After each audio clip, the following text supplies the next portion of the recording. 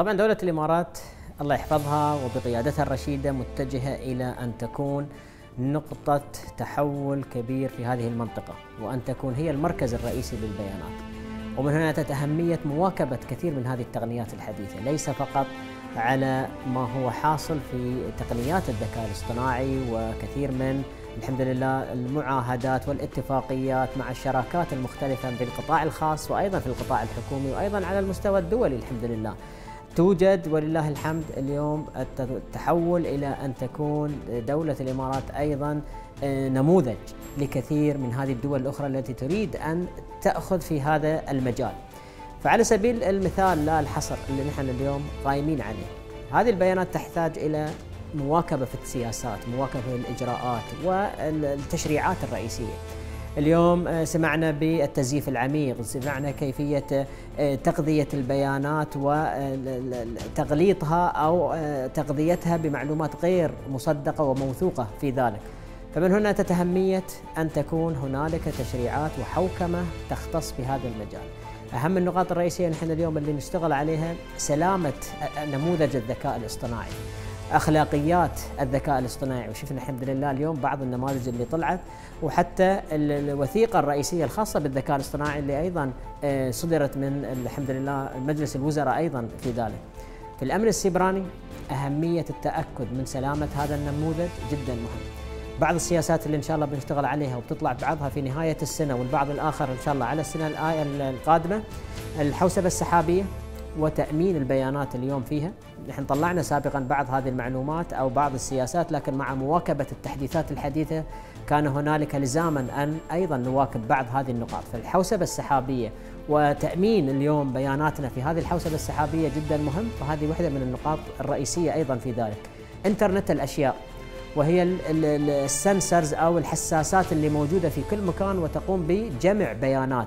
عملية أن تكون هذه أيضا مواكبة وبمعايير آه، أمنية مهمة. اليوم القطاع الصحي من أهم القطاعات الرئيسية اليوم اللي نحن نشوفها ويحوي أيضا في طياته بعض الأجهزة التي تمس بجسم الإنسان بمعلومات الإنسان بالجينوم بال sequencing بكثير من المعلومات اليوم اللي هي لا تستطيع أن تغيرها. هي ليست credit card أو عبارة عن معلومات مالية. تريد أن تغيرها بعد ما يتم اختراقها تروح وتغيرها مع البنك. لا هذه معلومات صحية معلومات متأصلة في الشخص نفسه.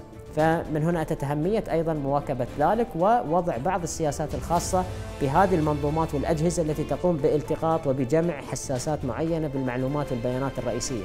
غرف العمليات الرئيسية وهي السوك نحن نسميها Security Operation Center مراكز العمليات السيبرانية و حصولها أو آه، العمل على اعترافات واعتمادات معينة.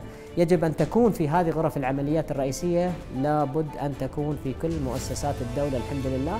أو بالتنسيق مع المؤسسات الرئيسية المزودة لهذه الخدمة. اليوم الكوانتم.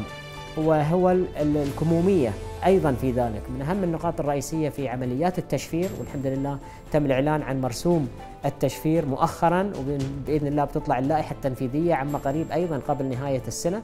وهذه تختص بوضع المعايير الرئيسية الخاصة بتأمين البيانات. كانت في حالتها المخزنة أما في حالتها التي تنتقل بها هذه المعلومات من جهة إلى أخرى. فأهمية أن تكون متوافقة مع ال post quantum cryptology أو اللي هي آه، من آه، بعد المنظومات الكمومية اللي تستخدم اليوم. وأن تواكب أيضا كثير من الحمد لله معايير آه، مفاتيح التشفير واللي نستخدمها أيضا في ذلك. الهجمات مستمرة فوجود هذه المعايير وجود هذه السياسات وجود هذه الحوكمة الرئيسية اللي نقوم بها هي من أهم النقاط الرئيسية. والحمد لله دائما نحدث فيها وفق ما نشوفه فيها آه، حاجة. من دون التأثير لا سمح الله على أي من آه، اقتصادات والحمد آه، لله سياسات المؤسسات الأخرى اللي اليوم أيضا قائمة على كثير من هذه النقاط الرئيسية في تحولها الرقمي. طبعا التحول الرقمي والله الحمد في دولة الإمارات مس جميع قطاعات الدولة. القطاع الصحي، القطاع التعليمي، قطاع الطاقة، قطاع الطيران وغيرها من القطاعات المختلفة. اليوم آه، مع تحول هذه القطاعات رقميا قد تفتح بعض الثغرات التي آه، تؤدي إلى لا سمح الله بعض هذه الهجمات الرئيسية. ومع وجود الذكاء الاصطناعي واستخدامه من عدة جهات كانت جهات مدعومة من دول أو كانت جهات مدعومة من منظمات وتنظيمات مختلفة تستقل الذكاء الاصطناعي في عمل المسوحات العامة لمعرفة ما هي هذه الثغرات للبنى التحتية الرئيسية الرقمية الخاصة بهذه المؤسسات. واليوم بسهولة جدا تستطيع أن تعمل مسح كامل على جميع مؤسسات الدولة .gov.ae على سبيل المثال أو بالآي بيات الموجودة اليوم عندنا واللي الحمد لله آه، أيضا من النطاقات الرئيسية اللي تستخدمها هذه المؤسسات والوزارات. فمن هنا أتت أهمية حماية هذه المؤسسات من التهديدات ومن هذه الاختراقات اللي قد تمس بتسريب بيانات قد تمس بانتحال شخصيات قد تمس بالبنى التحتية الرئيسية بملكيات فكرية بالحمد لله بيانات جدا مهمة اليوم. نحن على سبيل المثال يوم نتكلم عن الشخص كفرد في المجتمع الهاتف ماله يعني يوم تسأله إذا حد اخترق بياناتك اليوم وصورك واشيائك بيقول لك هذه لا تقدر بثمن هذه حياتي كلها. فما بالك بمؤسسات دولة فما بالك بمعلومات وسجلات رقمية رئيسية أمنية خاصة بدولة الإمارات والله الحمد فيها. أي نعم توجد هجمات توجد هجمات جدا كبيرة بسبب الأحوال السياسية والجيوسياسية في المنطقة. بسبب آه، ما زادت به دولة الإمارات ولله الحمد في تحولها الرقمي وخاصة في المجال المالي. آه، توجد اليوم كثير من هذه القطاعات المتبنية والمستضافة في دولة الإمارات الحمد لله حتى من الدول المختلفة. فأدت ذلك أن تكون هذه البنى التحتية عبارة عن آه، أهداف رئيسية من هذه التنظيمات والمنظمات الرئيسية، ما هي القطاعات الرئيسية التي تستهدف؟ القطاع المالي طبعا من أهم هذه القطاعات لما فيه من مادة لأن المخترقين إما أن يكون خلف البيان والمعلومة للمساس بأمن دولة أو هو خلف المادة وخلف المال أيضا للحصول على أي من هذه البيانات، فشفنا الحمد لله نحن النوعين من هذه الهجمات. ولله الحمد اليوم دولة الإمارات قائمة برصد وصد وردع كثير من هذه الهجمات اليوم بالتعاون مع كثير من هذه الجهات. فالقطاع المالي من أهم النقاط الرئيسية نحن اليوم نشوف الهجمات عليه، القطاع الحكومي جميع مؤسسات الدولة الحكومية أيضا فيها، القطاع الصحي في هجمات جدا كبيرة استوت أو حصلت في الولايات المتحدة الأمريكية وفي الاتحاد الأوروبي الطابع اليوم بأهمية المعلومات الصحية مقارنة بالمعلومات المالية. طبعا هذا لا تقدر بثمن. معلومات لا يمكن تغييرها. دي إن اي لا يمكن تغييرها. معلومات تستطيع أن تبتز بها شخص معين أو حتى دولة معينة فيها. فمن هنا أتت أهمية آه، الهجمات اللي تحصل على القطاع الصحي. وهذه الحمد لله اللي نريد أن مع الجهات الرئيسية عندنا في الدولة حماية ووضع الحمد لله الطرق وآليات الرصد والصد لهذه النقاط الرئيسية.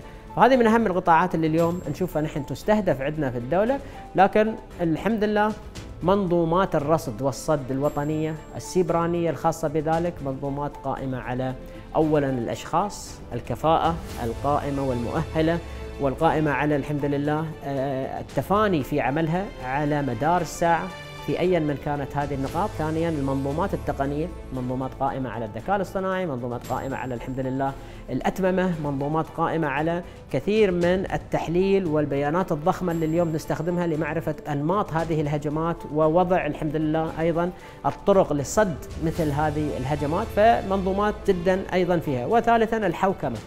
الحوكمة والسياسات والمعايير اللي الحمد لله أيضا يتم الامتثال بها من هذه المؤسسات الرئيسية اللي يتم التعاون فيها، واصدرت كثير من المعايير الحمد لله من مجلس الوزراء لمواكبة مثل هذه التغييرات والتهديدات أيضا فيها. في نقطة أيضا آه، مهمة في ذلك اللي هي الشراكة. هذه الهجمات جميعها عابره للحدود وعابره للقارات ولا تعرف اليوم جورسدكشن آه، معين فمن هنا أتت الشراكات المهمة اللي اليوم نشوفها الحمد لله. شراكات في المنطقة بدول الخليج العربي وتوجد الحمد لله هناك الأمانة العامة لمجلس آه، التعاون الخليجي وفيها تم إنشاء اللجنة الوزارية السيبرانية أيضا فيها. وعلى المستوى العربي الحمد لله اليوم أيضا تم إنشاء اللجنة الوزارية العربية أيضا القائمة على التعاون في هذا المجال. ونحن نشوف هذه الشراكات بالعكس هي ما ستبني أولا الأمن السيبراني العربي لصد أي من هذه الهجمات التي تريد أن لا سمح الله أن تمس بأي من هذه الدول الحمد لله. تبني التعاون لأن نرسل رسالة بأن الحمد لله دولة الإمارات والدول الخليج والدول العربية أيضا في آه، مأمن من كثير من هذه الهجمات السيبرانية والبنى التحتية اليوم بالعكس مستقطبة لكثير من الشركات والجهات والشراكات المختلفة وهذا اللي شفناه الحمد لله انتقال كثير من رؤوس الأموال عندنا في الدولة خاصة منها الخاصة بالذكاء الاصطناعي والاقتصاد وبإذن الله بنظرة القيادة الرشيدة متوجهين إلى أكثر وأكثر في ذلك. طبعا الهجمات نحن في المعدل تصل إلى خمسين ألف هجمة هذا في المعدل وأنا أتكلم هنا عن القطاع الحكومي. أنا لا أتكلم عن القطاعات الأخرى اللي قد تزيد فيها أيضا هذه الهجمات، القطاع الخاص على سبيل المثال حدث ولا حرج قد تكون فيه الهجمات أكثر من ذلك، لكن بالتعاون معنا الحمد لله نصل إلى كثير من هذه الصد والردع والتعاون أيضا فيها. لكن في شهر آه، مارس وشهر إبريل زادت الوتيرة بسبب الأحوال الجيوسياسية في المنطقة. فانتقلت من الخمسين ألف نشوفها بمعدل تصل إلى 200 ألف هجمة. هذا في اليوم الواحد واستمرت على ذلك تقريبا مدة أسبوعين. بهجمات تصل إلى هذا ال 200 ألف هجمة في اليوم الواحد. والحمد لله كانت فيها حالة طوارئ وكانت الحمد لله أيضا آه، الشباب والدولة ككل. ولا ننسى دور الإعلام. الحمد لله في نشر أيضا كثير من التنبيهات والإعلام أيضا في ذلك وتم الرد على هذه التنظيمات. كانت أكثر هذه الهجمات طبعا هي هجمات فقدان الخدمة ال DDoS. وهذه آه، تنشأ من عدة بنى تحتية في العالم ككل وتستهدف بعض ال domains أو بعض ال IP ات اليوم عندنا في الدولة. وهذه وصلت إلى عدد جدا كبير أيضا في ذلك.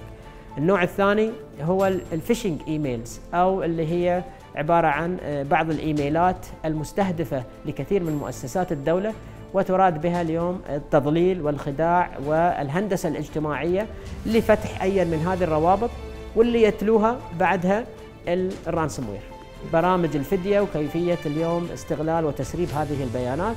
فشفنا هذا النمط اللي هو حاصل لكن الحمد لله رب العالمين وضعنا كثير من ال ال الآليات التي تمنع مثل هذه الهجمات على الدولة الله يحفظها. نحن الحمد لله هذا دائما آه، موضوع شوي آه، قريب لقلوبنا. لأن تكون دولة الإمارات هي رقم واحد في الأمن السيبراني. والحمد لله رب العالمين اليوم في المنطقة دولة الإمارات رقم اثنين. في العالم ككل دولة الإمارات رقم خمسة.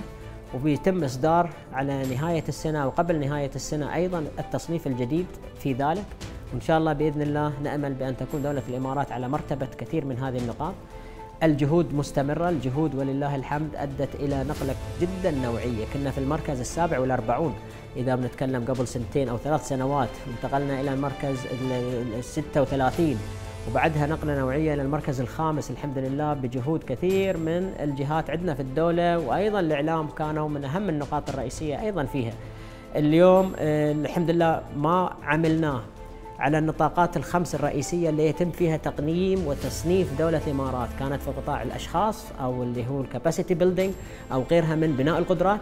كانت في آه، قطاع التقنيات الحديثة. دولة الإمارات الآن تصدر كثير من هذه التقنيات الحمد لله وتوجد شركات هنا قائمة على آه، صناعة الأمن السيبراني.